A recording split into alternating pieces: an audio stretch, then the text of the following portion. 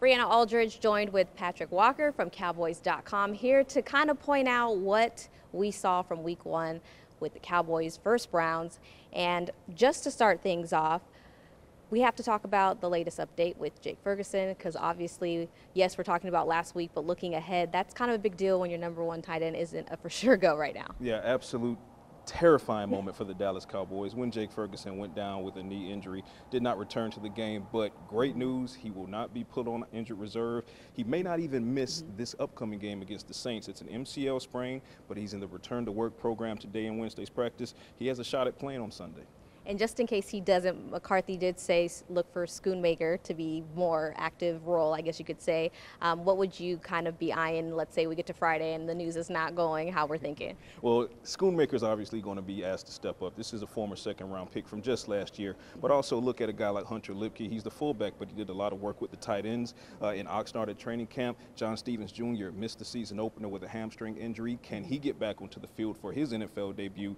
Brevyn Spann-Ford, uh, high-ranked undrafted guy, he's going to be looked to step up, and also Princeton Fant on the practice squad might get an elevation. Okay, so as promised, we got to dissect a little bit of what happened in week one. The biggest storyline heading in was how are these two rookie offensive linemen going to measure up to Myles Garrett? And I think it's safe to say that they, they passed their first test. They did. Uh, Myles Garrett had only one sack, and even mm -hmm. that was arguable. Maybe it was an incomplete mm -hmm. pass, but overall, you talk about Tyler Guyton out there more often than not on an island with the reigning NFL Defensive Player of the Year and mm -hmm. played very well. Slide inside a couple spots. Cooper Beebe allowed zero pressures and zero sacks safe to say that he did a phenomenal job, both of those guys in their first uh, NFL game for the Cowboys. And I want to talk about who's we just talked about it, not a rookie, right? But kind of is, kind of is a rookie. We're talking about DeMarvion Overshown, right? Um, he was just fun to watch. It looked like when people come back from the second half and they lose a little juice. It looked like I don't know what he had in the locker room, but he just came out and put Deshaun Watson just flat out laid him out. What can you just see about his rookie debut? You know, technically he is a rookie. Realistically, uh, actually, technically he's not a rookie, but realistically he is. This is a guy that was redshirted all of last year due to that torn ACL. What does he come out and show you? Every single thing, every single reason that the Cowboys made him a third round pick a couple years ago, if that. And now you look at speed, the ability to spy mobile quarterbacks, that's going to come in handy. Guess who's on the menu? Uh, Lamar Jackson, right? So that's going to be cinema.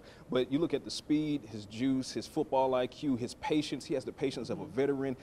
I think he's getting that from a guy like Eric Kendricks, obviously Mike Zimmer, a linebackers guru. So DeMarvion Overshown, uh, future is bright for that young man. Yeah, it seemed like everybody ate on defense. And for Deshaun Watson, I personally wanted to go help him by the time yeah, they got to the too. to the third. That's true. He gets paid. He gets paid a little bit, yeah. yeah. So a lot, a lot not as much as Dak Prescott. No one does. Love that for him. Um, so my last question for you, though, obviously you're here day in and day out. Even when the team is off, you are still here grinding.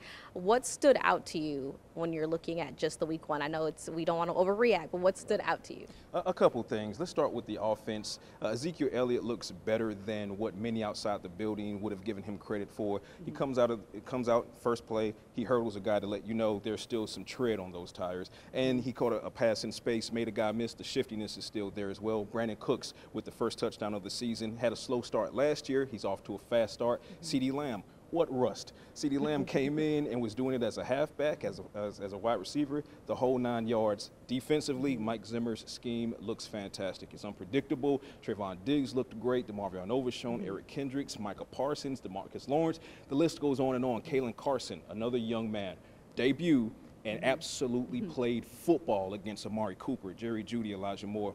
All in all, when you put that into the package and understand that Mike Zimmer had 50 plays in his defensive playbook. And Trevon Diggs and Michael Parsons says he only unveiled three of those sets.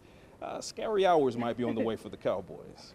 Okay, so I lied because I said last question. What is your overall grade when you're looking at just overall as a team, offense and defense, what is the grade you give the Cowboys week one? I'm going to give the offense a C, uh, and that's because although they got off to a fast start, they did slow down in the second half. I would like to see them uh, have more of that killer instinct in the second half. Granted, you don't have to unveil everything when you have a lead that big, but don't take your foot off the gas. So a C there, but a solid B plus for the defense. There were some things that they can clean up. Obviously, Caelen Carson wants two or three of those throws back because right. he could have had a two or three interception game. Um, but all things considered, the Cowboys defense played almost lights out. So I'll give them a B plus. So I land squarely at a B. It's a B for me for the Cowboys against Cleveland Browns. Be solid for week one, I think. Yeah, it's good stuff. That's, the one and zero is even better. that starting with the win, yeah, it's, a, it's definitely a good feeling and heading into a Saints team who is coming off a pretty convincing win themselves, and we'll get more into that tomorrow when we return. That's it for now for Patrik Walker and Briana Aldridge.